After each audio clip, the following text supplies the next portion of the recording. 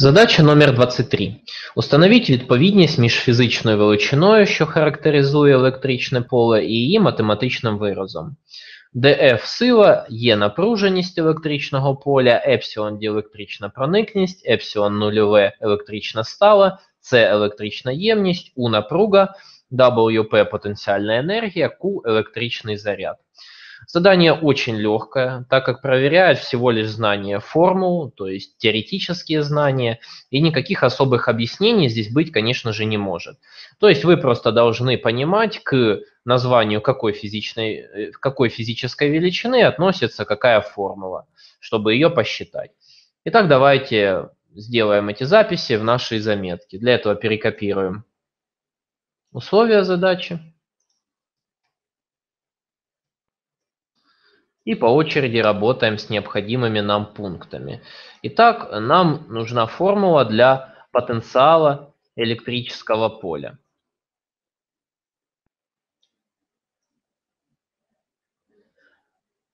Потенциал электрического поля, конечно же, можно рассчитывать по-разному, в зависимости от того, что мы конкретно знаем о данном случае. Однако из всех предложенных формул нам подходит именно его определение, то, что записано под буквой Г. Соответственно, это будет энергия электрического поля поделить на заряд. Давайте данную формулу запишем. Итак, потенциал у нас обозначается стандартно буквой φ, и это энергия поля разделить на заряд. Соответственно, это у нас будет относиться к букве Г, и мы можем записать ответ 1Г. Перейдем теперь ко второму пункту. Во втором пункте от нас требуется указать формулу напряженности электрического поля. Такая формула, безусловно, не единственная, но опять-таки, скорее всего, от нас требуется именно та, которая указывается изначально по определению. Давайте проверим. Действительно, такая формула у нас имеется, она находится рядом с буквой А, и это значение вектора силы кулона, которая будет действовать на заряд, поделить, собственно, на сам заряд, на который она действует. Давайте эту формулу запишем.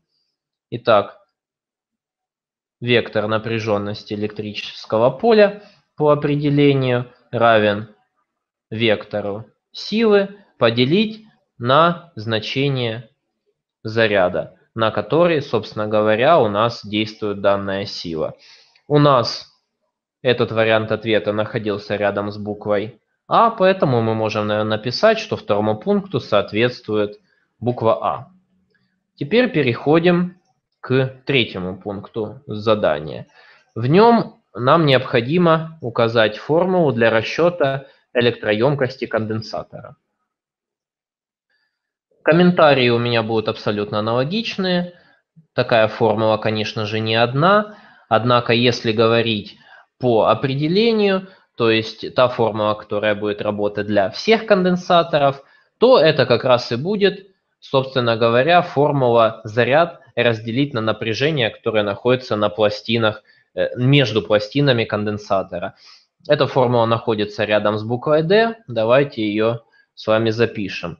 Итак, электроемкость обозначается буквой С большое, и она равна заряду на пластинах, разделить на напряжение между пластинами.